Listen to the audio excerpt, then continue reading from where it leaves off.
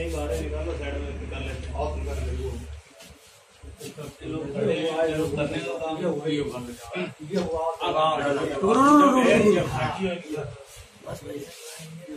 अब ये ठीक ठीक ठीक। निकल गया ना में लोड है। उसको मज़े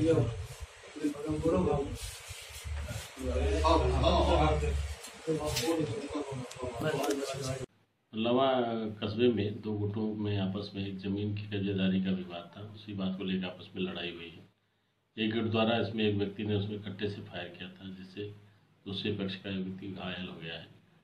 और फायर करने वाले व्यक्ति को गिरफ़्तार कर लिया गया है। उसके असलाह की रिकवरी की जा रही है और उसको वैधानिक कार्रवाई कराई जा रही है। सर पुलिस ने सीसीटीवी में क्या देखा किस तरह से? सीसीटीवी कैमरे में साफ़ दिख रहा है कि उसने कट्टे अपने पैंट में घुसे हुए कट्टे निकाल के फायर करता हुआ उसकी फ़ोटो आई है कि क्या कार्रवाई है?